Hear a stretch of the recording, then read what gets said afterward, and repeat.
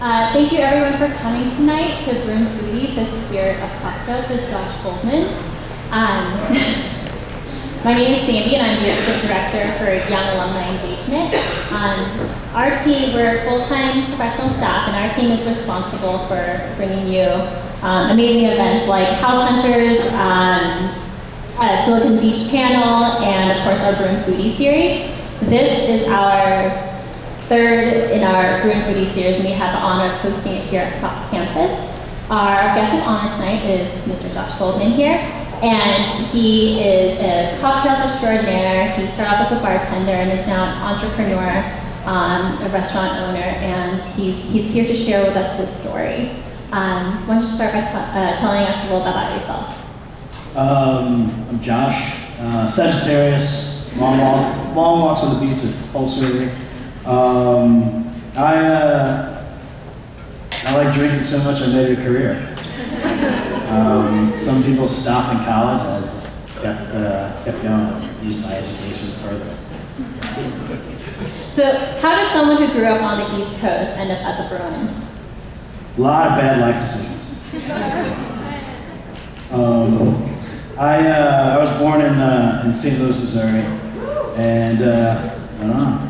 Um, and uh, my, my dad my stepmom, uh, when I was, after grade school, uh, I did grade school in, uh, in uh, St. Louis, but their families, my, my family originally from New York, um, they were really transfixed on the idea of owning a brownstone.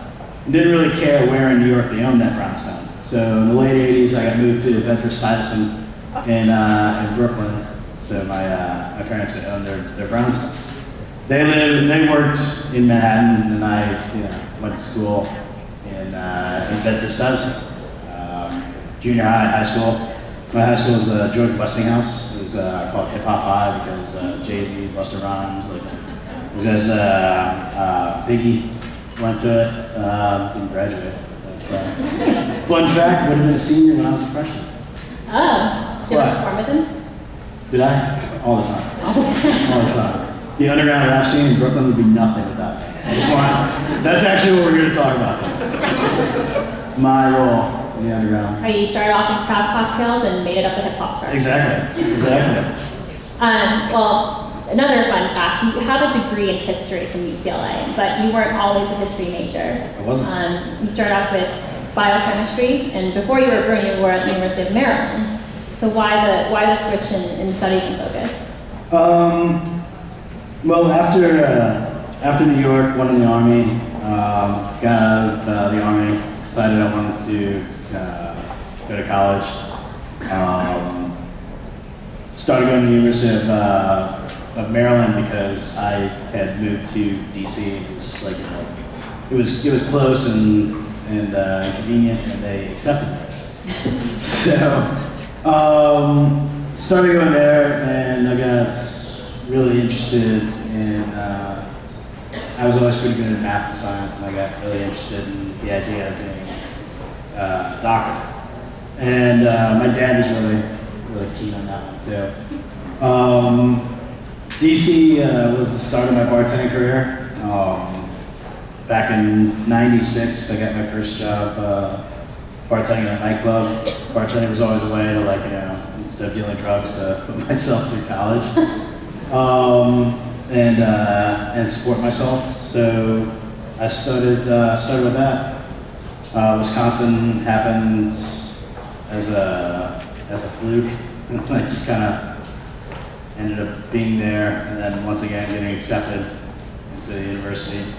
And then all of a sudden I was this kid from New York and, been overseas, like in, in the army, and moved back to like, you know, and moved to DC, and then I'm in Madison, Wisconsin, and there's like cows 40 minutes out, like outside of that. It's uh, definitely a bit of a culture shock. This time I was still in the uh, National Guard. Okay. Um, so you made it all the way to the West Coast, and how did you decide that UCLA was the place for you? Is UCLA accepted? Okay. Anything else? Uh, well, I um, I left I left Wisconsin and came out here. I dropped out of Wisconsin, so I no longer had the desire to be a doctor. Um, Why not? well, my uh, it was a very interesting time in my life. My uh, my son, is 15 now, um, was uh, was born around this time. His mother and I weren't uh, in the best of uh, in the best of situations. So, like so many decisions in my life, I turned to the great Tom Cruise classic Cocktail for guidance. And I was going to move to Jamaica and go bartend um, when I dropped out, but I had a buddy of mine say, uh, I'm moving to Southern California to be a model and an actor. Why don't you come with me? I was like, sick, never been before. So I uh, got out here and um, I had spent all this time, you know, working on my undergrad. I figured I might as well uh, finish it up.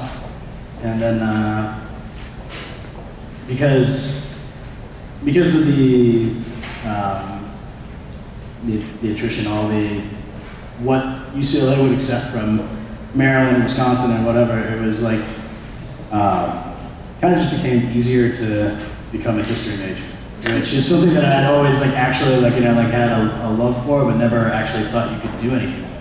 Because I was always like you know like well you know you got to do something with like you know like science or become an accountant or like you know, this is I need to learn some skill other than like you know like bartending or shooting at people like that's going to prepare me to the, the business world out there.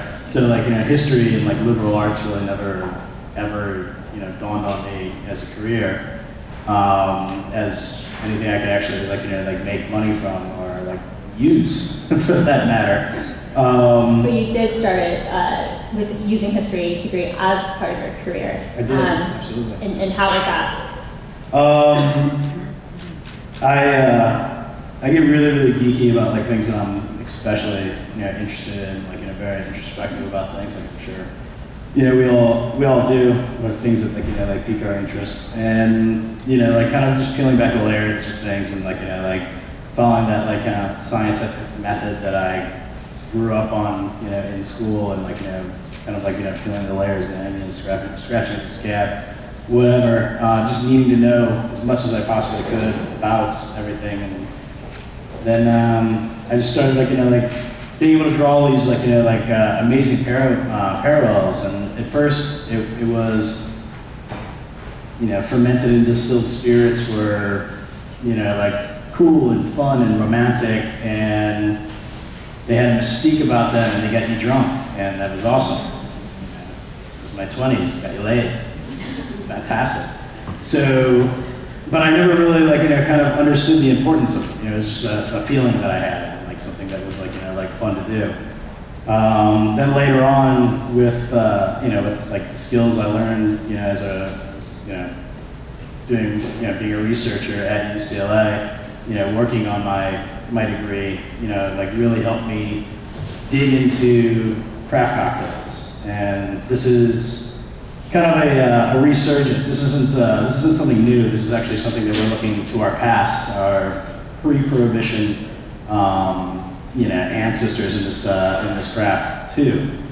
This was uh, cocktails, bartending. This was, this is our culinary gift to the, uh, to the world. Europeans, you know, definitely say like, you know, that we, you know, it could be a travesty when we mess up their, uh, their beautiful spirits by mixing them together, but what do they know? um, it's, uh, it's just prohibition, the noble experiment, experiment that we had. We all know that you with our failed war on drugs and everything else, that prohibition doesn't solve anything. It just like, you know, makes it more dangerous and uh, more like basically unsafe when you're talking about um, when you're talking about booze. And 13 years of like you know having that vacuum kind of uh, broke the cultural chain that we have in this country. And now we learn how to drink by getting marketed to.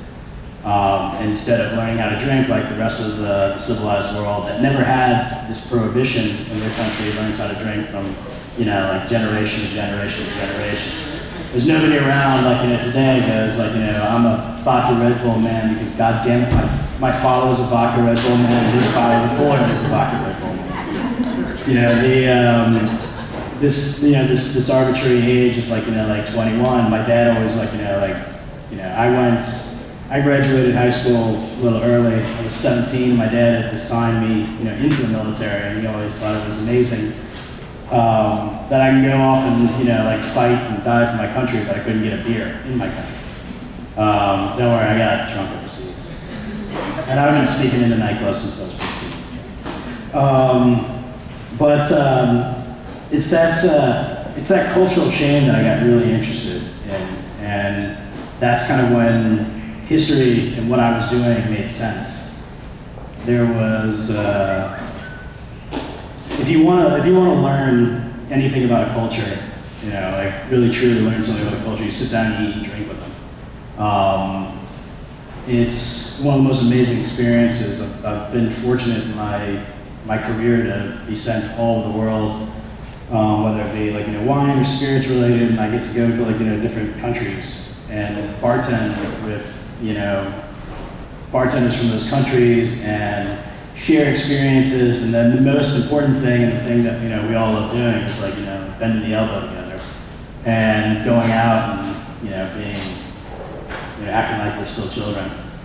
Um, you know, it's a lot. It's a lot of fun when you, end up meeting, you know, just lifelong friends, and you know, there's people, you know, in every corner of the world, like you know, behind, you know, behind the stick now. That like, it's a it's an amazing community. You know, it's they we there's very there's you know, humongous lack of like you know health insurance for like you know people in, in my industry. But when bartenders get sick, as a community, you know, we come together and donate money and do fundraisers and everything like that and support.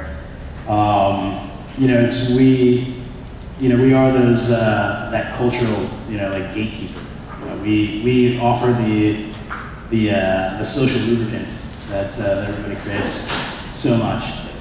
Um, and this is all really like you know at the end of the day like you know like tied into like you know like our history. Um, one of the reasons I chose to do rum in the cocktail I'm doing, and I'll talk about the cocktail and the history of that cocktail is because really more so than any other spirit, more so like you know like gin or cognac or uh, you know you know American whiskey, whatever, will tell a story of like you know like a region, but because rum's all over the world and nothing is like you know told um, the story of uh, you know our first great expansion, you know since you know the land bridge over 10,000 years ago, then uh, then rum, this like you know fueled empires and you know brought about like you know social change, you know evil, and you know it all came from you know a byproduct of uh, you know sugar, and that's absolutely fascinating.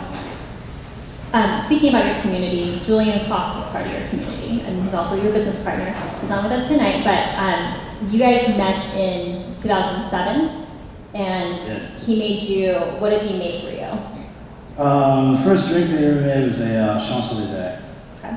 It's a, uh, it's a classic cocktail um, that's made with uh, cognac, green chartreuse, uh, fresh lemon juice, and Angostura bitters, and a little a little bit of simple syrup.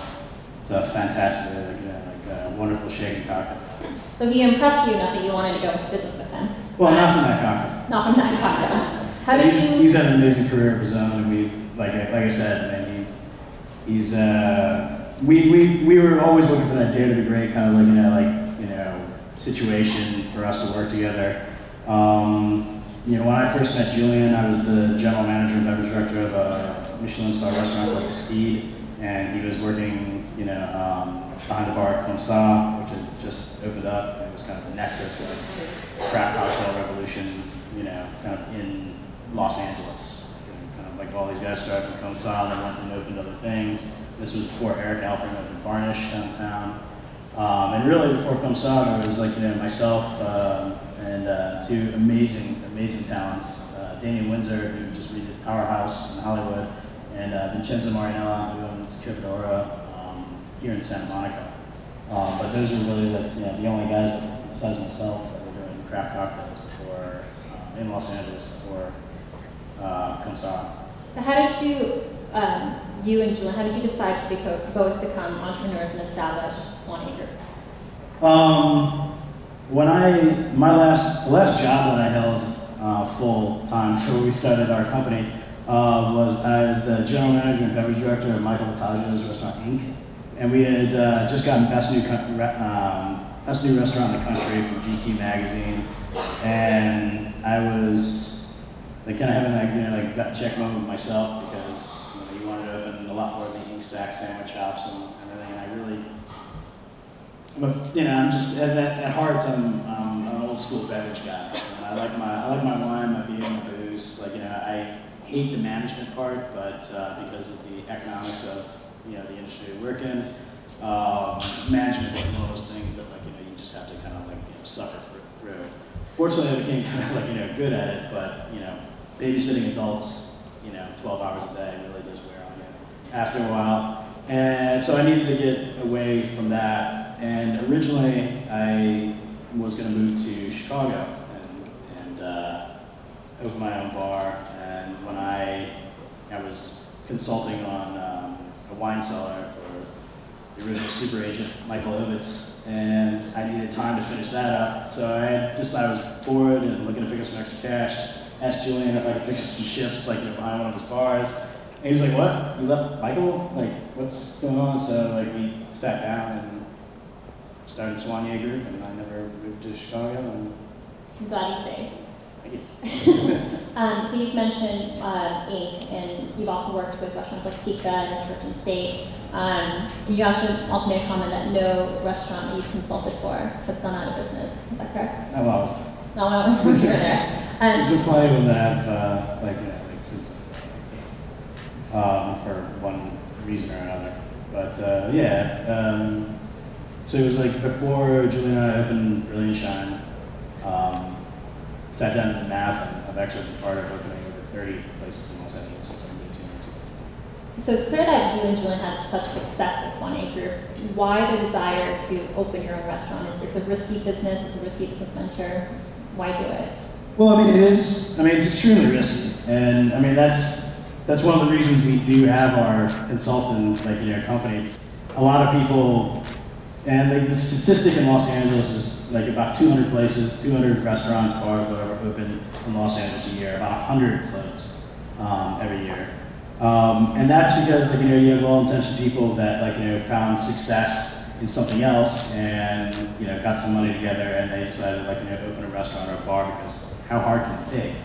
I used to bartend back in college, or I used to wait tables back in college, and like you know, you don't actually know like all the things that like you know like that go into making a successful you know place. So like that's the beauty. That's the beauty of my situation is like you know when it starts to like you know like fail or go pear shaped, or you want to open something, you contact like you know us and we do it. Uh, you know we we do it for you.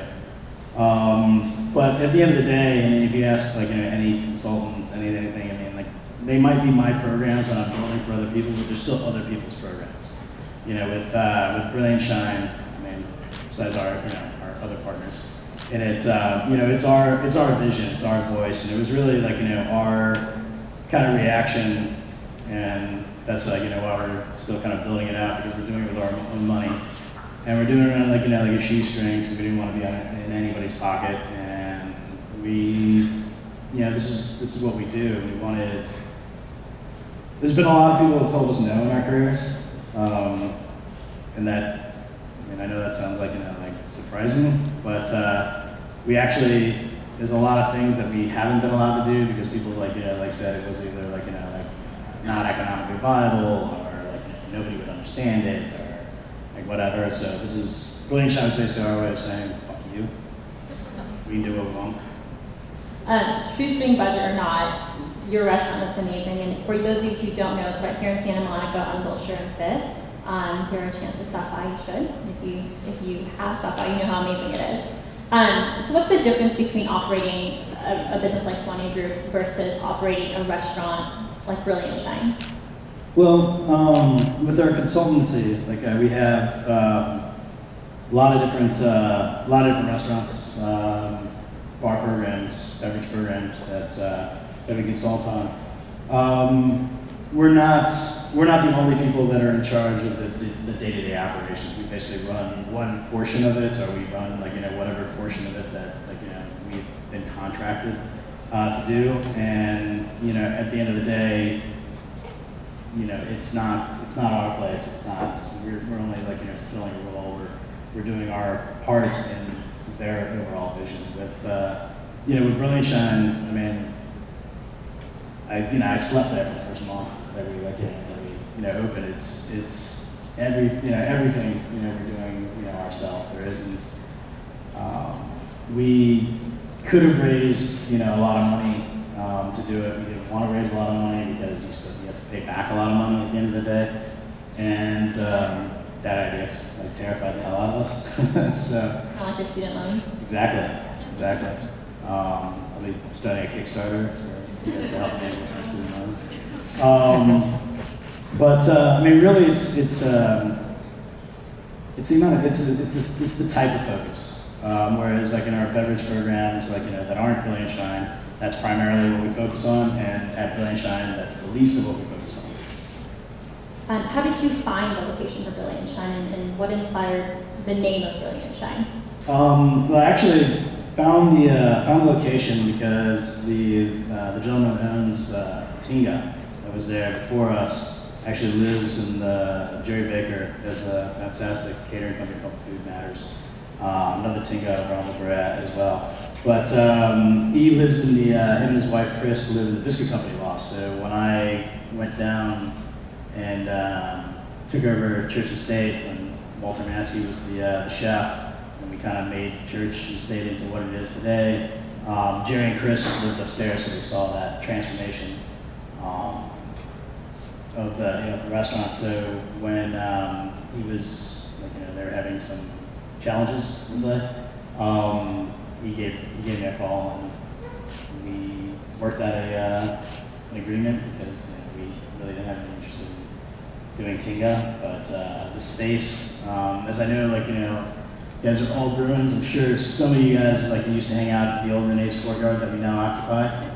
Um, and it was uh, it was awesome, you know, during my that's when I first discovered, you know, the location was my you know time at uh, UCLA. I actually used to live in uh, Westwood, corner of Gayley and Weyburn, uh, that like old uh, 20 style um, white building.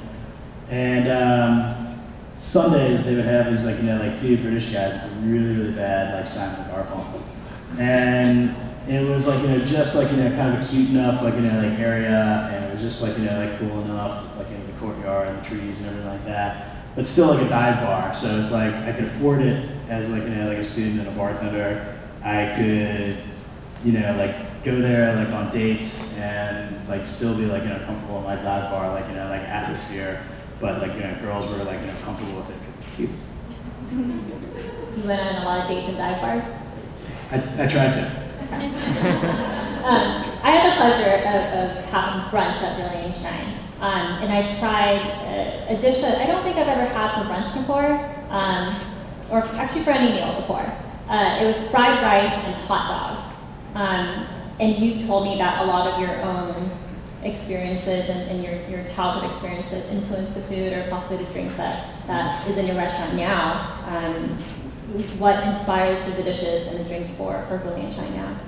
Well, the uh, I mean, at Brilliantshine, um, just like when we opened uh, up uh, Melrose Umbrella Company with our partners over there, um, the whole idea of like opening Melrose Umbrella Company or Brilliantshine was uh, bars being uh, owned and operated by bartenders. Um, because really, like you know, at the end of the day, that really hasn't happened too much, uh, you know, before. Um, and we wanted to make it more of a collaborative experience. So between like you know myself, Julian, um, our program director Dean Pryor, um, we and our other bartenders, whoever has any ideas, like you know we have, we kind of have a process of like you know like submitting ideas, and then when we do R and D uh, sessions on those cocktails, we work through you know these ideas, and you know everybody comes with like you know exactly why their cocktails like this and the cost of their cocktails and everything like that. Julian and I work um, very closely with our amazing chef, uh, Richie Lopez. Um, just, uh, I mean, it's basically, you know, like, Richie, Richie, you know, like, taste this and that's dope. Awesome. So, The- uh, the the hot- and hot dogs comes from your childhood, right? It comes from mine and Richie's actually. Um, in Peru, um, when, when he grew up in Peru, it was like, you know, kind of, there's a, there's this uh, Chifa movement. There's a lot of uh, uh, the, the Port of Pisco used to be the largest port on the uh, on the west coast. Um, so there's a lot of Asian, you know, influence uh, in there. That's where they kind of fried rice uh, comes from. And it was kind of like you know, like a poor kid's dish, like in the morning, the fried rice with the hot dog and the egg. And we just kind of like you know like bonded even more over this dish because my dad, you know, being a single father, you know, raising me until we got remarried. Um, you know, we would it would be like you know scrambled eggs, with hot dog, and matzah, because we're Jews. Um, you know, crumbled you know up into it. So I mean, it was just like so similar, and it was like such an amazing dish, and it's unbelievably tasty. Um, but we just thought it was amazing that like you know we grew up on basically the same dish, and like you know I was in you know St. Louis having this dish, and he was in Peru, you know having that version of the dish. So I mean, it's like that's the, that's a special part about like you know like about about food and beverage, and like, you know if you don't if you don't cook from your heart, and if you don't uh, use like you know the that palate memory that you have and that sense memory that you have, and like whatever, you're missing out on the joy of cooking and the joy of like you know making making cocktails. So I tried to recreate that dish. It didn't really work out, so I'll be coming back. But um, we're gonna we're getting ready for a demonstration. He's agreed to do a demonstration for us, um, and you're gonna be making a rum Rickey, I am. right? Um, is this your favorite drink? Is that why you're making it? Well, I wanted to. I don't really have a favorite drink. It, it, I have. I have. I drink what I'm in the mood for, which is kind of like you know, the benefit of running as many bars as I do, because I have access to So like. you just go into a bar that you're running a plan drink. Yes. Okay. It's called quality. It's called quality. Got it. Um, so really, at the end of the day, my desert island drink is going to have to be a daiquiri. Um, and it's just, it's the, you know, probably for me, like one of the most perfect cocktails there's ever to be. It's, it's rum, sugar, lime. Um, kind of tells the, the history of the, uh, British Navy as well. But um, what, uh, what I wanted to make for you guys uh, today is, um, is a rum Rickey. Now, the reason I wanted to do the, uh, the Rickey is because it actually kind of like ties in like in, um, to, to my story. Um, the Rickey was actually there are a lot of cocktails that weren't invented by real people. This one actually was invented by um, a real person, uh, Colonel Joe Rickey, um, and he was a Missouri politician. He's from Missouri, ended up relocating to D.C. Um, loved his booze, so he came up with the Rickey. It was originally Gin Rickey, um, and this was. Uh, this was created, um, so Joe Rickey, Colonel Joe Rickey was uh, stumping for Grover Cleveland back in uh, 1893, working on his campaign and everything like that. Was at the, the Shoemaker in Washington, D.C., tells the bartender um, that he wants uh, you know, gin, lime, sugar, and soda water. And, you know, Rickey was born. By 1894, we have evidence of, like, you know, Rickey's um, Rickey's being made with everything, and that's kind of the reason I wanted to introduce you uh, to the to the Rickey because it's what we like to call like a cocktail family. Meaning that with these uh, these specs, these uh, recipe, you can substitute any booze in there that you want. It doesn't have to be rum, it can be gin, it can be vodka, it can be anything at all. It uh, it works. Plus the fact, since we have like you know such a long you know warm period here in Los Angeles, there's like really nothing better than like you refreshing like a long carbonated drink like on a hot day. Um, so yeah, it's, you can throw a whole party with just one recipe. you can throw a whole party with just on this. Um, so we have our freshly squeezed lime juice.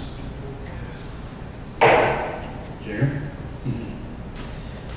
So this is going to be an ounce of lime juice. And then uh, simple syrup. Now we use uh, at the bar we use uh, evaporated cane juice sugar. You can get that from uh, from Whole Foods. The the reason we do that instead of like white processed sugar is because we want a little bit of that sugar flavor. It's uh, it's going to give you uh, much better mouthfeel. It's not going to be you know as molassesy as like you know, Demerara or Turbinado or something else like that, but uh, it gives you like you know like wonderful um, kind of uh, rich rich feel to it. So this is going to be three quarters an ounce. Are you guys taking notes? And you make this by um, by weight, not by volume, because like no sugar shifts or anything like that. So different uh, different so you can make by weight. Um, just one to one, water, sugar. You can do it on you can do it on the stove, raise uh, raise your water to simmer, just like you know like uh, you know, or I like old method. You just uh, take it in um, an old soda bottle, like whatever, just shake it a few times, take about 20 minutes for it to be clear. Can we And just you're buy it? good to go. Um, you can buy you can buy the shitty simple syrup at like stores, but um, Just, just wondering. and We're all busy. then so the the wonderful wonderful folks at uh, Denizen uh, donated this rum for us tonight. Um, so we have the uh, we have the aged white, which is aged uh, three year, and then we have the eight year Merchant Reserve. This is actually 50-50. Um, we're gonna do this uh, 50-50. So it's gonna be two total ounces of booze. One ounce of white.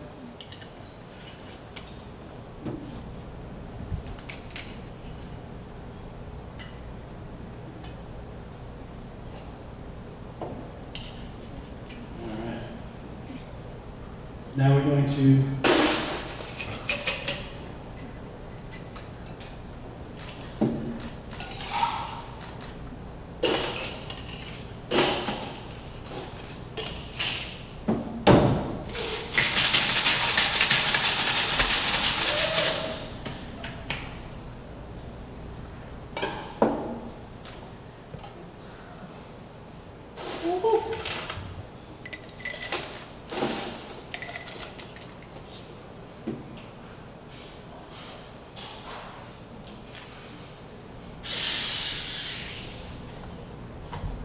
carbonated alcohol. And you do two ounces of soda water. Oh, that's great.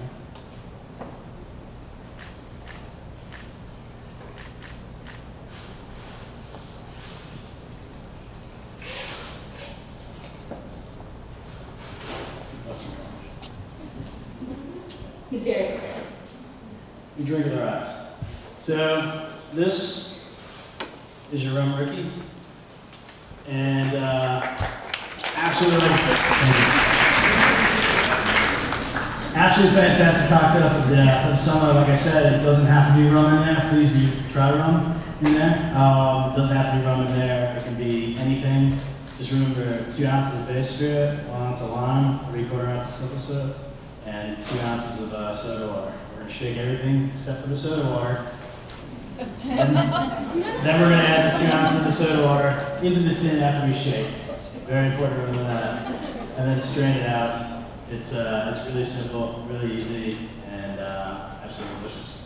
Cheers. There you have it, a rum Um, and all of you can make it in your own homes now and impress your friends and have amazing parties, um, take photos, trackers. Um, we're going to turn to the audience for questions now. Um, Gloria will be walking around with the handheld microphone to help us out. Okay. Can we turn the light down?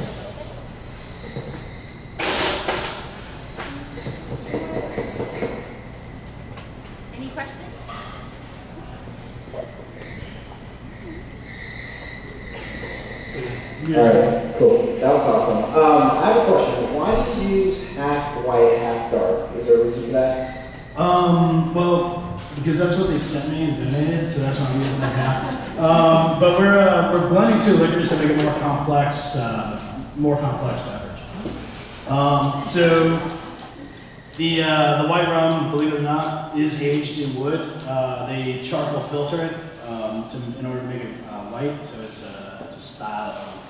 So this, uh, this rum is going to give us uh, a different flavor, obviously, than this. We can tell that right away from, uh, from the color.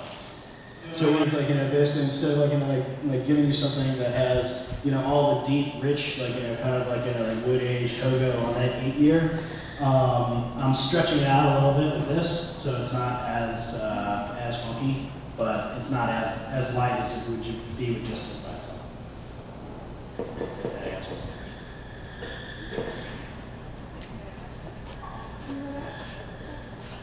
any other questions? Oh, in the back.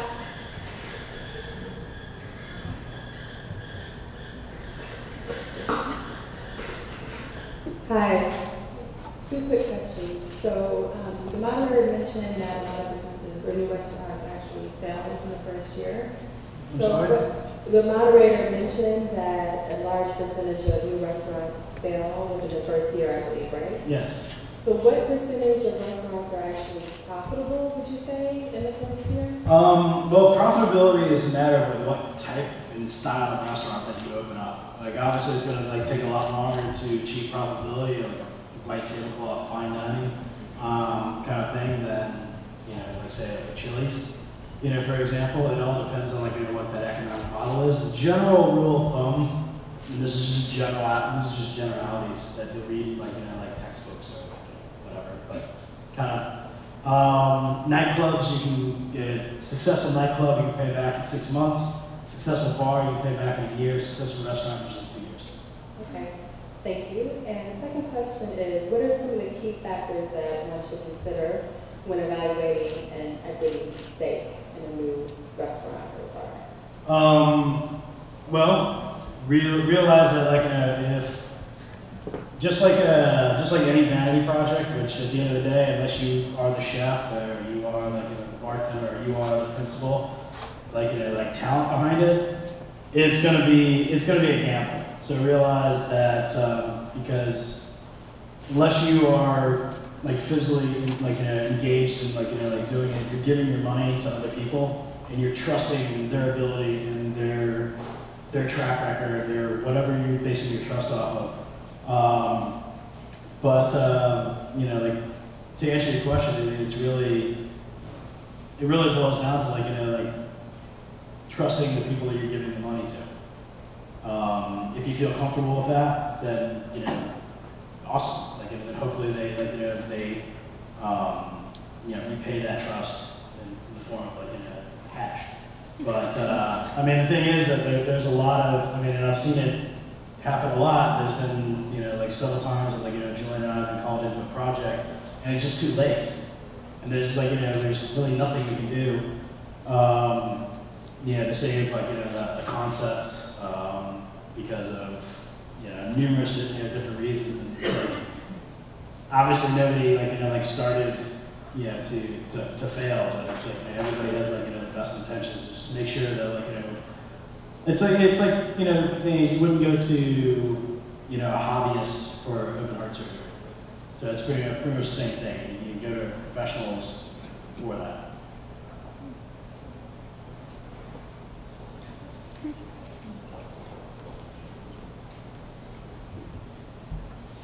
Hi, my name is Carolyn, and I think Brilliantshine is fabulous. I love it.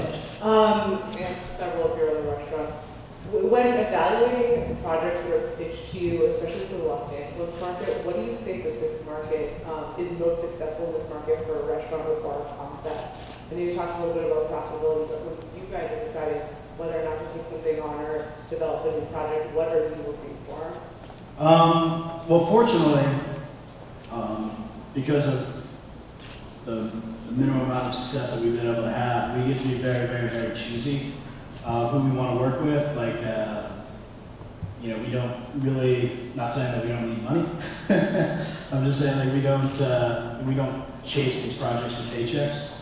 Um, we partnered up and we have a uh, concept opening up uh, with uh, the vertically integrated meat company Belcampo. They're the world's first uh, vertically integrated, certified humane and sustainable uh, concept. They have a, a ranch outside of uh, Shasta. These are, you know, like people. They have uh, you know a billionaire behind them that uh, really wants to like you know, kind of uh, change the way that that people that people grow food, that people see food. Because right now the dialogue that we have, it's not.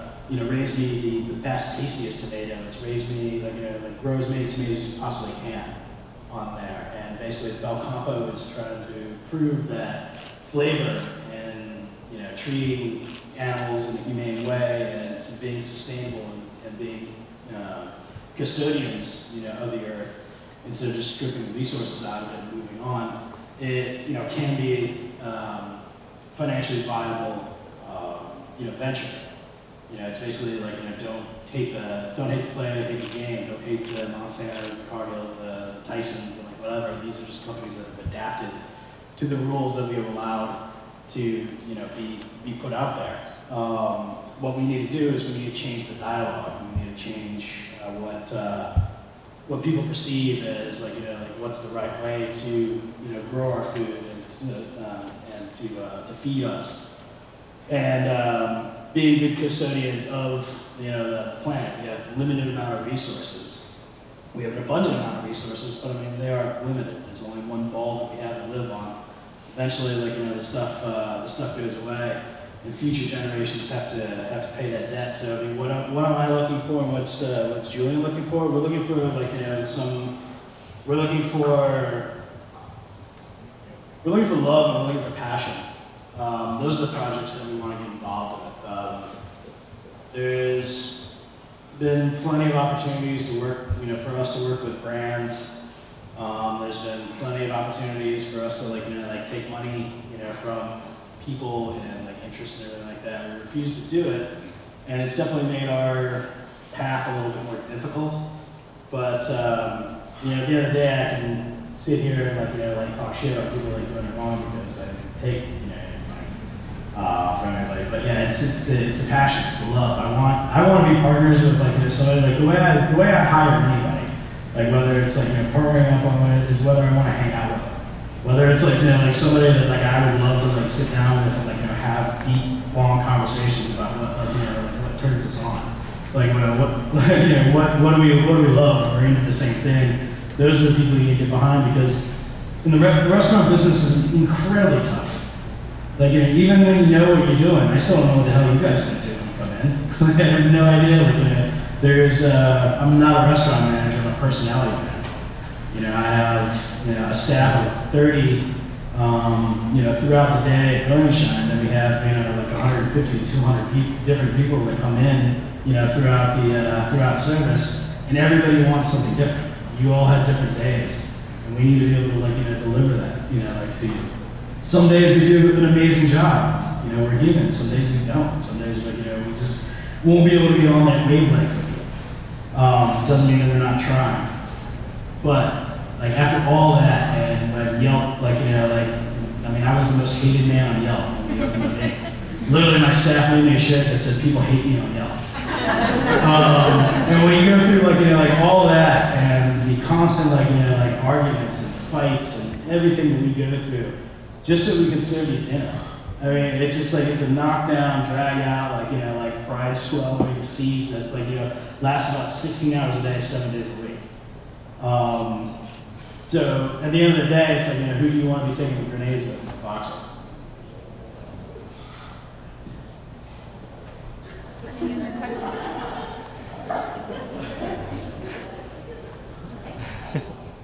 So, you talked a lot about classic cocktails, but I was wondering what your inspiration is when you want to get creative and make something new that hasn't been done before. Um, well, I mean, I have a, I have a saying, you need to know Escoffier before you go Adria.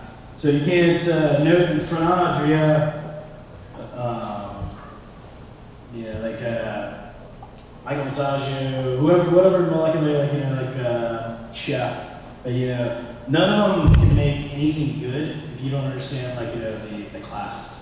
So for me, like, you know, everything is, is really classics. That's where we find like our balance and else. That finding inspiration for, uh, for new cocktails, I mean, those are, I mean, those are like all over the place. I mean, it's, it's,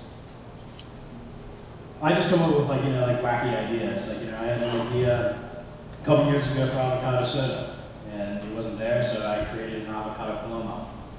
Um, I had an idea for a BLT cocktail. And Betty Hallock, when she was the um, assistant editor in the LA Times, said mine could replace the actual BLT because Mike had bourbon. Um, you know, this was like you know the BLT. I took uh, I took cooked bacon and raw bacon. I infused them um, in a water in, uh, under vacuum in a water bath. Uh, took them out, blended them together, filtered them out, did uh, clarified tomato air on top. I had a caraway tincture that I sprayed the uh, glass with, and on the side you had a little granita of uh, iceberg lettuce. So when you drank it, you got the, the bourbon, well, when you brought it up to your nose, you got that kind of like caraway rye smell. And then when you started drinking it, you got the tomato, you got the bacon, and then you had the little crunch of the, uh, of the iceberg lettuce on the side. Um, done cocktails with, uh, you know, carbonated reverse spheres of, of tonic water that I like put down at the bottom of a, of a glass and it made it like made a very aqua fresca, like you know, gin, um, like cucumber kind of cocktail. So when you when you drank it, it was like you know like gin and cucumber and like you know lime and fresh and, uh, and everything, a little caffeine lime in as well. And then when you got down to where the liquid was just right above the uh, pearls, you would just kind of like knock it back and then you'd have a, you'd have the tonic water, carbonated tonic water, the spheres that would kind of explode in your mouth, and gin and everything like that. So it became a cucumber cocktail, cucumber gin cocktail, into a gin tonic. So we call it twofer. Um, I mean, like it's like where where inspiration comes from is like you know like literally. I I mean I did a uh, historical cocktail um, uh, menu for um, this restaurant called Acabar that we consulted on in Hollywood. When they first opened, it was uh, done by historic uh, by different historical uh, eras, and I did kind of like an homage to like when I first started bartending, the, the Dark Ages. So I actually re I actually re-engineered the the apple martini, which is going to be going on the menu at Belcampo when I when I open Bel Campo next month. Um, but I re-engineered sweet and sour, and I re-engineered apple, pucker. It's got the same Brix level and the same pH, like the same acidity and everything like that. So I got a bottle of pucker and I measured the, uh, the uh, pH and the Brix with effect on there and everything like that. And I wanted to make sure that I got the, the flavor and the balance. Well, not the flavor. I was working on better flavor, but I wanted to make sure I had that, that balance of that. So it'd be something recognizable when you drank my apple martini, but something completely and totally, you know, like different. One more question?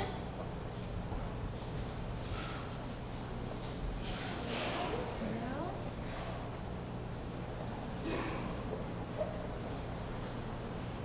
Do you think a place like Aviary in Chicago could make it out here?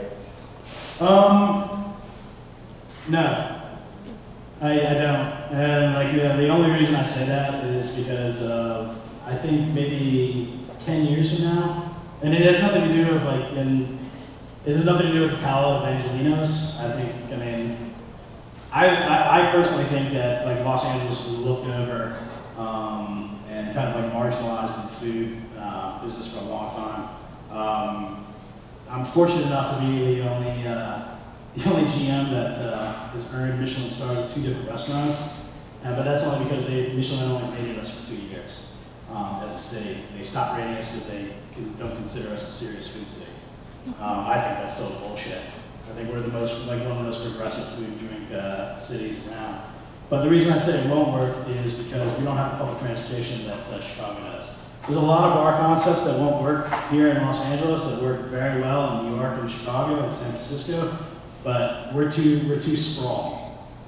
Um, we, uh, I mean, I love the fact that like you know the trains go in like literally right there. Um, where I live in Culver City, I'm gonna be able to like hop on the train, like you know, get off and like walk to you know Brilliant. That's amazing. As a New Yorker, I love that. Um, but uh, but really, I mean, like you know, there's a lot of like you know, after dinner thing. There's a lot of like serious drinking that we can't uh, that we can't do here in, uh, in Los Angeles.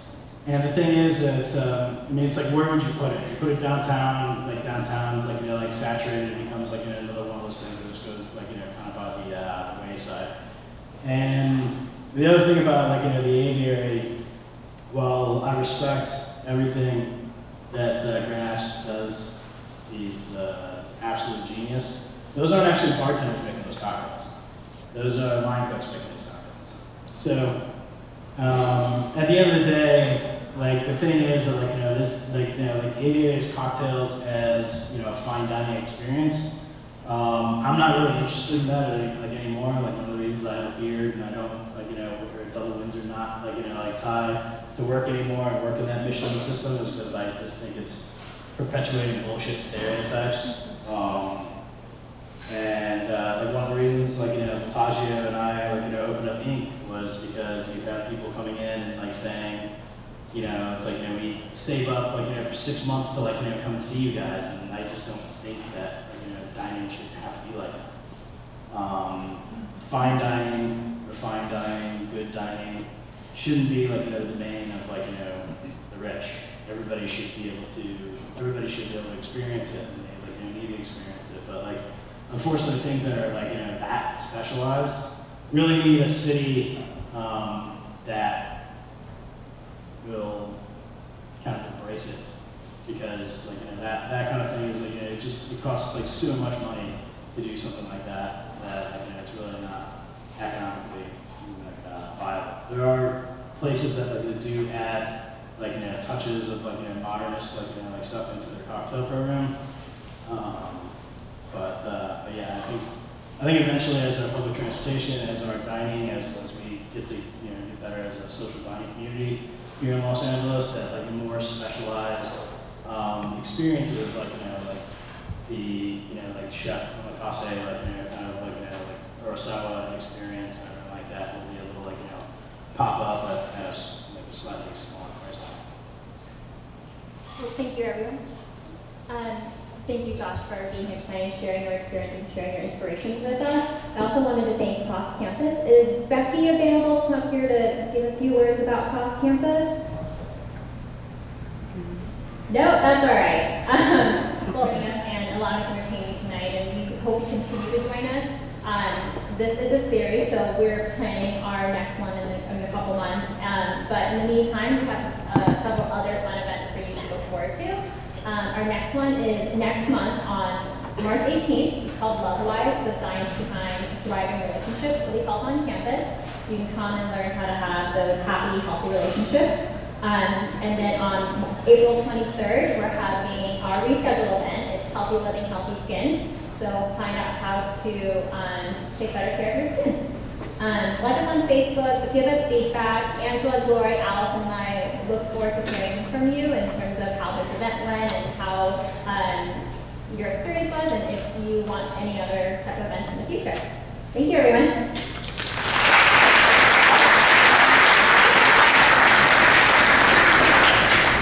Go back to the bar, get your drinks.